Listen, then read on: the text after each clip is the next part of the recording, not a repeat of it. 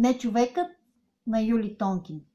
Това е моето 365-дневно предизвикателство, в което всеки ден, с едно единствено изключение, давам на вас и на себе си по една бърза тактика за мотивация и успех.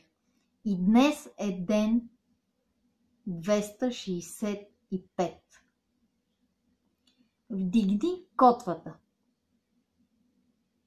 Една от основните причини повечето хора да не бъдат мотивирани е, че прекарват голяма част от времето си в съдене. Съдене на другите хора и още по-лошо съдене на самите себе си.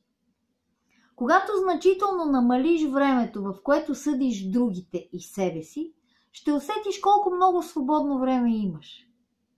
Ще усетиш колко много енергия притежаваш да вършиш нещата, които ти харесват.